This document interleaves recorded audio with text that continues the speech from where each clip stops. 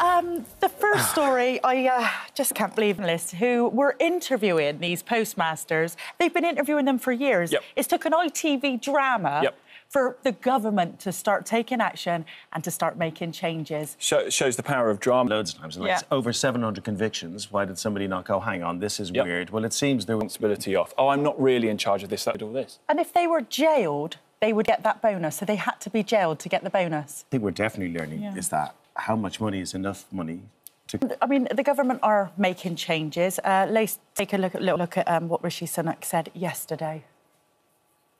He's offering £75,000 for some. Uh, you know, a lot of people have lost their lives. It's been going on for 20 years. You know, what do you think that should happen with their families? Some people have lost their. You're so right, because it's almost two phase, isn't it? Uh, fix, and at the time, who knew what? I know about 10 or 12%, I think. So Yeah. these guys earn a lot of money.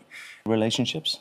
Knew that the you know the computer system, the Horizon Absolutely. computer system, was at fault. You know, they went to court. It proved they were at fault, and they still were given. The past one, and many would say, right,